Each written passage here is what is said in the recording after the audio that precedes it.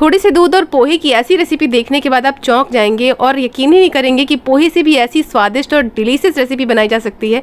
आज मैं आपके लिए लेकर आई हूँ दो चीज़ों से मिलकर बनी हुई ऐसी शानदार रेसिपी जिसको देखने के बाद आप इसे बनाने से खुद को रोक नहीं पाएँगे। इसकी गारंटी ले लो। Hello everyone welcome back to my channel creative class Sarika और मैं हूँ सारिका तो आइए शुरुआत करते हैं इस बहुत ही मज़ेदार सी रेसिपी की। तो ये एकदम यूनिक और बहुत बहुत टेस्टी और हेल्दी सी रेसिपी बनाने के लिए मैंने दो कप पोहे का यूज़ किया है। आज मैंने यहाँ पर जो पोहा यूज़ किया है, वो थोड़ा सा मोटा है। अगर आपके पास मोटे वाले पोहे हैं तो आप वही लीजिएगा, या फिर आप पतले वाले भी यूज़ कर सकते हैं। तो यहाँ पर मैंने दो कप पोहा ले लिया है। इसको धोना वगैरह कुछ नहीं है। हम क्या करेंगे, एक बड़ी सी कढ़ाई रख देंगे गैस पर अच्छे से गर्म करेंगे और बिना घी या तेल डाले इसमें ये पोहा डाल देंगे। मीडियम फ्लेम पर हम पोहे को 10 से 12 मिनट के लिए भुनेंगे। तो ध्यान रहे, फ्लेम को हाई मत कीजिएगा। लो टू मीडियम रखिएगा। धीरे धीरे चलाएँगे ना तो पोहा अच्छी तरीके से फूट कर बड़ा बड़ा हो जाएगा। तो देखिए, मैंने यहाँ पर पोहे को लगभग पाँच मिनट के लिए भून लिया है। पाँच से सात मिनट हम और इनको भुनेंगे।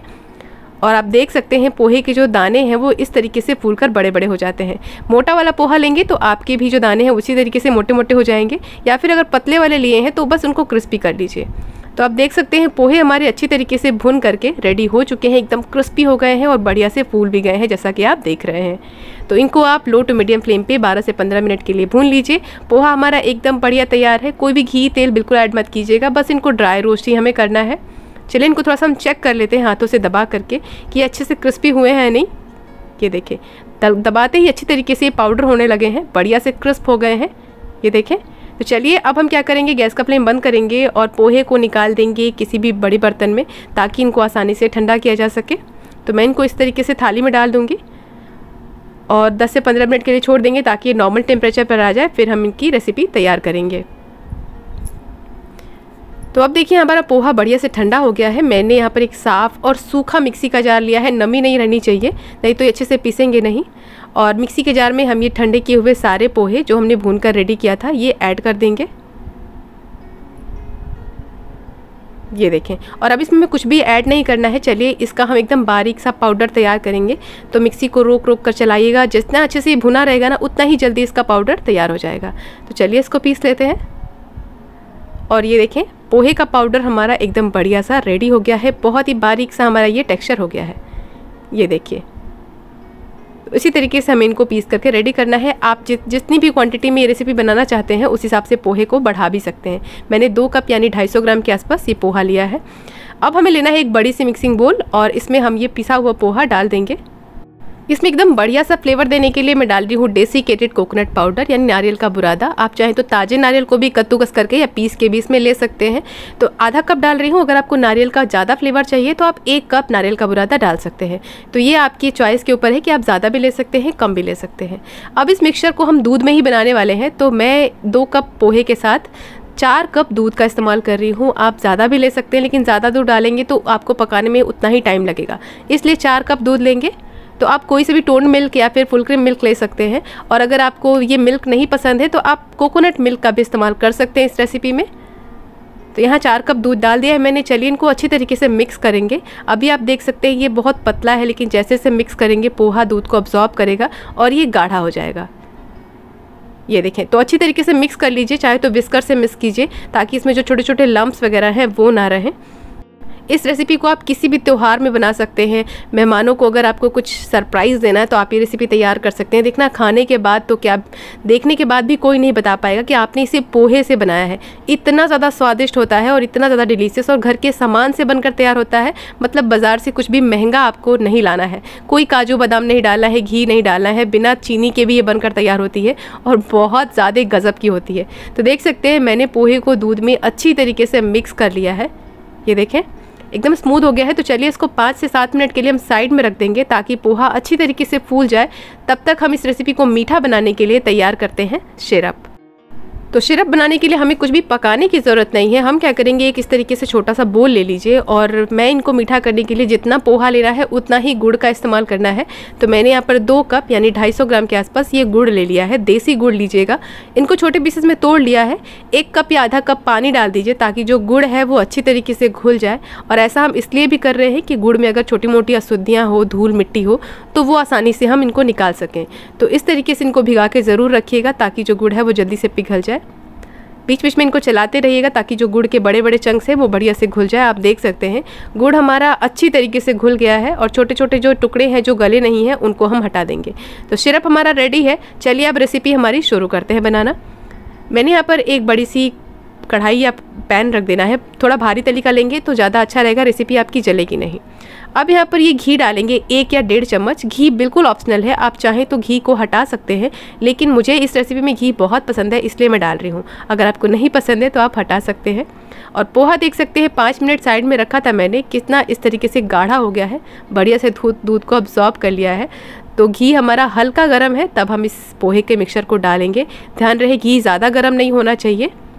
या पैन अगर आप बिना घी के बना रहे हैं तो पैन भी ज़्यादा गर्म नहीं होना चाहिए। तब आप ये पोहे का मिक्सचर इसमें डालें और अच्छी तरीके से इनको मिक्स करेंगे। थोड़ी देर में ही ये अच्छी तरीके से जो घी है, वो पोहे में घुल मिल जाएगा। तो फ्लेम एकदम लो टू मीडियम रखिएगा ताकि जले नहीं और आसानी से ये आपस में घुल मिल जाए। अगर बिना घी के बना रहे हैं तो पाँच मिनट के लिए इस मिक्सचर को अच्छी तरीके से गर्म कर लेना है पैन में। आप देखिए, थोड़ी देर में ही ये घी जो है, वो अच्छी तरीके से इसमें घुलने लगा है। ये देखिए, घी डालने से बहुत ही अलग सी खुशबू आती है, साथ ही आप इसको लगभग पंद्रह दिन तक स्टोर भी कर सकते हैं। अगर आप घी के बिना बनाते हैं तो सात से आठ दिन रख सकते हैं, स्टोर कर सकते हैं, लेकिन घी डालेंगे ना तो पंद्रह दिन तो चली जाते हैं। ये देखिए, घी बढ़िया से पोहे वाले मिक्सचर में घुल मिल गया है और पोहा भी अच्छी तरीके से गर्म होने लगा है। अब इसको थोड़ी देर हम ढक देंगे। ऐसा इसलिए क्योंकि अगर आप इनको ढकेंगे नहीं तो छोटे छोटे बबल्स उड़ते हैं इस तरीके से, जो आपके ऊपर पड़ सकते हैं। ये देखें तो फ्लेम को मैंने लो टू मीडियम रखा है, पाँच मिनट इनको पकने देंगे। पाँच मिनट के बाद आप देख सकते हैं, ये काफ़ी गाढ़े हो गए हैं और पैन की तली से चिपकने भी लगे हैं। इसीलिए मैंने कहा था कि आप मोटी तली वाले बर्तन का यूज़ कीजिएगा ताकि जले नहीं। तो यहाँ देखिए, मैं इनको कलछी की मदद से इस तरीके से चलाऊँगी ताकि जो तली में बैठा हुआ है, वो निकल जाए। और ये बढ़िया से गाढ़े हो गए हैं तो अब बारी आती है इसमें चाशनी डालने की जो हमने गुड़ से बनाया था। तो गुड़ बढ़िया से पिघला हुआ होना चाहिए और ध्यान रहे, अगर आप कितना भी साफ़ गुड़ ले रहे हैं, उसमें अगर थोड़ी मोड़ी भी अशुद्धियाँ होंगी तो आपकी रेसिपी ख़राब हो सकती है।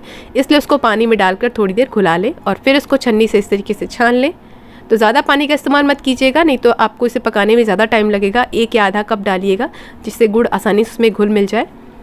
गुड़ को मैंने छान लिया है। मिक्सचर को अच्छी तरीके से मिक्स करेंगे ताकि जो पोहा है, वो बढ़िया से गुड़ वाली चाशनी में अच्छी तरीके से घुल मिल जाए। जो भी छोटे मोटे चंक्स दिख रहे हैं बबल्स दिख रहे हैं, वो एकदम स्मूथ टेक्सचर होना चाहिए। तो इस टाइम पर फ्लेम को एकदम कम कर लीजिए ताकि इसे घुलने में आसानी रहे और तली में लगे नहीं।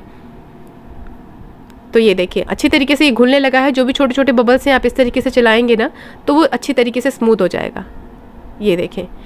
तो अब बारी आती है इनको पकाने की यहाँ पर आपको थोड़ा सा पेशेंस रखना होगा, क्योंकि इस मिक्सचर को हमें लगभग 25 से 30 मिनट के लिए मीडियम फ्लेम पे पकाना है। जब तक ये पूरी तरीके से गाढ़े ना होने लगे और कढ़ाई से अलग ना होने लगे, साथ ही साइड साइड से घी भी रिलीज़ करने लगेगा, क्योंकि ये घी को ज़्यादा सोखता नहीं है। तो आप देख सकते हैं, सात मिनट मैंने फिर से पकाया है और ये मिक्सचर का कलर भी चेंज हो गया है और ये थोड़े से गाढ़े भी हो गए हैं। बीच बीच में इसे चलाते रहिएगा, ढकिएगा नहीं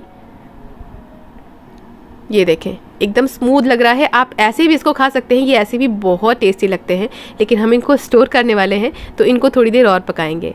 इसमें हम थोड़ा सा काजू ऐड करेंगे और थोड़ी सी इलायची के दाने, जिससे इनका फ्लेवर बढ़ जाए।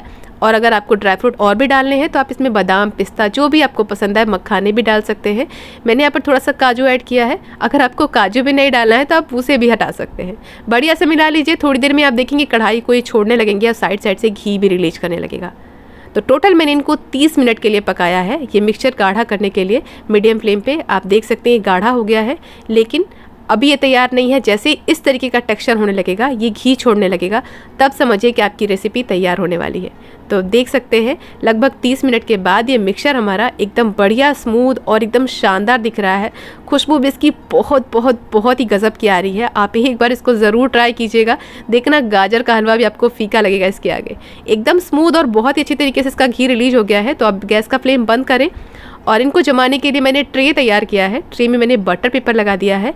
आपके पास अगर इस तरीके का ट्रे नहीं है तो आप नॉर्मल थाली भी ले सकते हैं, उसमें थोड़ा सा घी ग्रीस कर लीजिएगा, ताकि इसे निकालना आसान रहे। और अब हम इसमें ये गरम गरम मिक्सचर ट्रे में डाल देंगे। ये देखिए, लगभग एक किलो के आसपास हमारी ये मिठाई बनकर तैयार हो जाती है। तो पूरा मिक्सचर मैंने डाल दिया है ट्रे में। आप इनको ऐसे भी गर्मा गर्म खा सकते हैं, थोड़ा सा घी ऐड करके ऐसे ऐसे भी ये बहुत ही शानदार लगते हैं अगर आपको गर्म गर्म खाना हो। मैं इनको ट्रे में अच्छी तरीके से स्प्रेड कर लूँगी एकदम बराबर सा, ताकि हम इनको बर्फ़ी की शेप में काट सकें। अभी ये गर्म है मिक्सचर को हम एक घंटे के लिए ठंडा होने छोड़ देंगे, या फिर दो घंटे भी छोड़ दीजिए जिससे कि अच्छी तरीके से ठंडा हो जाए। एक से डेढ़ घंटे के बाद आप देख सकते हैं मिक्सचर अच्छी तरीके से ठंडा हो गया है और जम भी गया है। अगर आपको जल्दी जमाना हो तो फ्रिज में रख सकते हैं आधे घंटे के लिए। और अब अपनी इस तरीके से चाकू से हम अपने मनपसंद शेप में इनको काट लेंगे, चौकोर, तिकोना, जैसे आपको अच्छा लगे आप इनको काट सकते हैं। तो मैं इनको इस तरीके से चौकोर चौकोर काट लूँगी। ये देखिए, अभी कितना शानदार लग रहा है और निकालना भी इजी है। हमने नीचे बटर पेपर डाला था और ये देखिए टेक्सचर कितना ज़्यादा अमेजिंग है। देखना, इसे खाते ही मुँह से वाह वाह निकलेगी और हर कोई पूछेगा कि आपने इसे कैसे बनाया। बहुत ही आसान तरीके से और बहुत ही टेस्टी लगते हैं, ये ज़रूर एक बार बनाइएगा। और वीडियो पसंद आए तो लाइक और सब्सक्राइब ज़रूर कीजिएगा।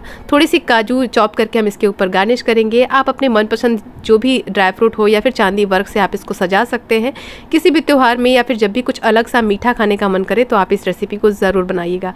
इस वीडियो में आपको सबसे बेस्ट क्या लगा ज़रूर लिख के बताइएगा और क्या अच्छा नहीं लगा वो भी लिख के बताइएगा ताकि मैं सुधार कर सकूँ। तो चलिए जल्दी से बनाइए और सबके साथ शेयर कीजिए इस रेसिपी को। मैं आपको इन्हें तोड़ कर दिखाती हूँ कि कितने ज़्यादा सॉफ्ट बने हैं। बस मुँह में जाते ही घुल जाएँगे, आपको इसे खाने में दांतों की भी ज़रूरत नहीं है। चलिए मैं आपको तोड़ कर दिखाती हूँ। ये देखिए, एकदम दानेदार और बहुत मज़ेदार, शानदार, इसका टेस्ट है, ज़रूर एक बार बनाइएगा। बहुत पसंद आएगी आपको तो रेस्ट कैसी लगी आपको ज़रूर से लिख के बताइएगा। चलिए जल्दी से बनाइए, सबको खिलाइए और सबके साथ शेयर कीजिए। कल आपसे फिर मुलाकात होगी एक और नई रेसिपी के साथ। तब तक के लिए टेक केयर एंड बाय